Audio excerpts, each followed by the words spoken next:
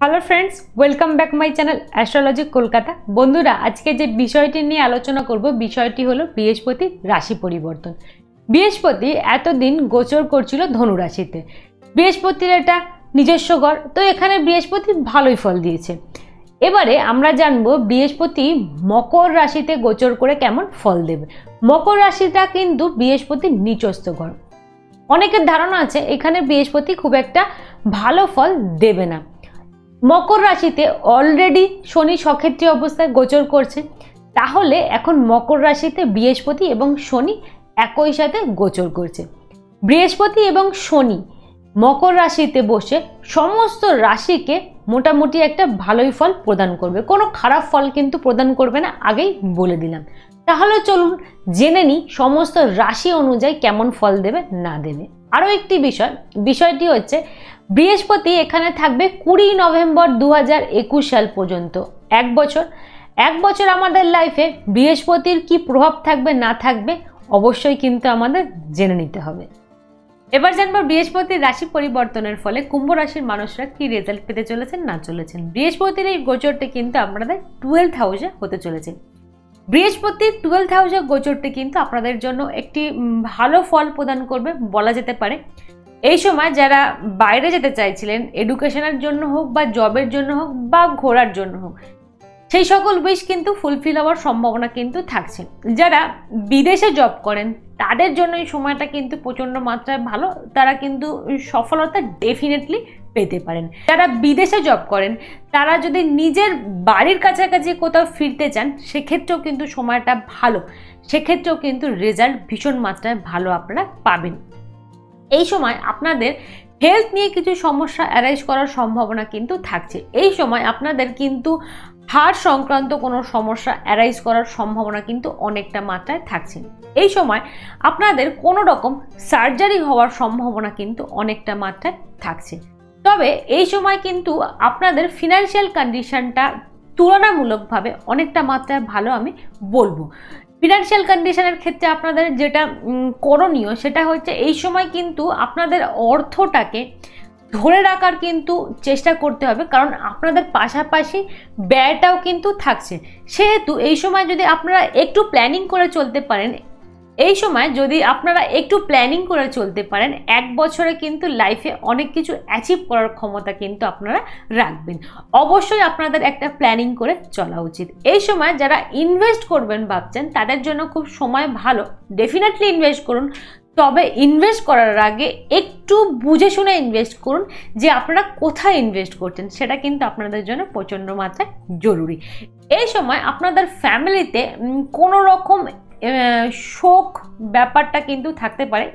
হয়তো এই সময় কোনো ফ্যামিলি মেম্বার আপনার থেকে বিচ্ছেদ হওয়ার সম্ভাবনা কিন্তু থাকছে। এবার জানব বৃহস্পতির পঞ্চম দৃষ্টির ফলে আপনারা কি রেজাল্ট পেতে চলেছেন, না চলেছেন। বৃহস্পতির পঞ্চম দৃষ্টির ফলে অবশ্যই আপনাদের কিন্তু বাড়ি নির্মাণ হওয়ার সম্ভাবনা কিন্তু অনেকটা মাত্রায় থাকছে। এই সময় আপনারা যদি চান তাহলে জমিতে ইনভেস্ট করতে পারেন, সেক্ষেত্রে কিন্তু আপনারা অনেকটা বেটার রেজাল্ট পাবেন। যারা অনেক দিন ধরে প্ল্যানিং করছিলেন জমি ক্রয় করবেন, তাদের জন্য সময়টা কিন্তু ভালো। তবে এই সময় আপনারা প্রচণ্ড মাত্রায় আপনাদের মায়ের হেলথ নিয়ে কিন্তু প্রবলেমের মধ্যে থাকবেন। গোটা বছরটাই বলা যেতে পারে মায়ের হেলথ নিয়ে কিন্তু আপনারা প্রচণ্ড মাত্রায় প্রবলেম থাকবে। এই বিষয়টা কিন্তু আপনাদের একটু স্পেশাল অ্যাটেনশান দিতে হবে, না হলে কিন্তু সমস্যাটা বৃদ্ধি পাওয়ার সম্ভাবনা কিন্তু থাকছে।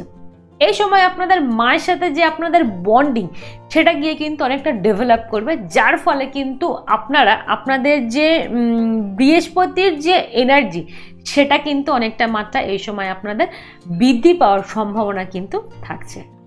জানব বৃহস্পতির সপ্তম দৃষ্টির ফলে আপনারা কি রেজাল্ট পেতে চলেছেন, না চলেছেন।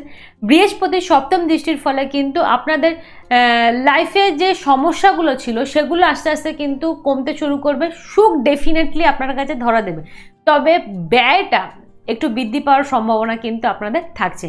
আপনাদের পরিশ্রম কিন্তু প্রচণ্ড মাত্রায় করতে হবে। যেহেতু বৃহস্পতির সাথে সাটান রিলেটেড তো যে কোনো ক্ষেত্রে আপনাকে কিন্তু পরিশ্রম করতে হবে তখনই গিয়ে কিন্তু সফলতা ডেফিনেটলি আপনারা পাবেন। বৃহস্পতির যে ফলটা, সেটা কিন্তু অ্যাচিভ করতে গেলে পরিশ্রম অবশ্যই করতে হবে। পরিশ্রম করলে তাহলে কিন্তু বৃহস্পতির রেজাল্টটা পাবেন। যেহেতু বৃহস্পতি এখানে সাটানের সাথে বসে আছে। এবার জানব বৃহস্পতির নবম দৃষ্টির ফলে আপনারা কি রেজাল্ট পেতে চলেছেন, না চলেছেন? বৃহস্পতির নবম দৃষ্টির ফলে বলব, এই সময় যারা ড্রাইভ করেন একটু কেয়ারফুলি ড্রাইভ করুন, চোট আঘাত লাগার সম্ভাবনা কিন্তু অনেকটা মাত্রায় থাকছে।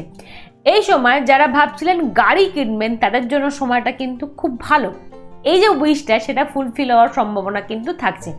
যদি আপনার কোর্টে কোনো কেস চলে, সেটা কিন্তু ডেফিনেটলি আপনার ফরে হওয়ার সম্ভাবনা থাকছে। কোর্ট সংক্রান্ত কোনো কোর্ট সংক্রান্ত কোনো ব্যাপার বা আইনি সংক্রান্ত কোনো ব্যাপার এই যে ব্যাপারগুলো, এই সকল ব্যাপারে যদি আপনারা জড়িয়ে থাকেন, তাহলে এই সময় সেখান থেকে আপনারা কিন্তু মুক্তি পেয়ে যাওয়ার সম্ভাবনা কিন্তু অনেকটা মাত্রায় থাকছে। বৃহস্পতির নাইন্থ হাউসের দৃষ্টির ফলে কিন্তু আপনারা লাইফে কিছু কিছু ক্ষেত্রে একটু সমস্যায় থাকবেন। যেমন হচ্ছে যারা বিজনেস করেন, তাদের ক্ষেত্রে একটু সমস্যা ডেফিনেটলি থাকছে। বিজনেসের ক্ষেত্রে একটু চাপ থাকছে। কিছু কিছু ক্ষেত্রে বিজনেসটা কিন্তু আপনাকে প্রচণ্ড মাত্রায় প্রেশারে ফেলবে। যারা বিবাহিত আছেন, তাদের হাজব্যান্ড বলুন বা ওয়াইফ বলুন তাদের হেলথ নিয়ে কিন্তু গোটা ইয়ারটাই আপনারা কিন্তু প্রচণ্ড মাত্রায় টেনশানে থাকবেন। এই দুটো জিনিস যদি আপনারা একটু সামলে উঠতে পারেন, তাহলে কিন্তু বৃহস্পতি গোচরের ফলে ওভারঅল রেজাল্টটা কিন্তু আপনাদের ভালো।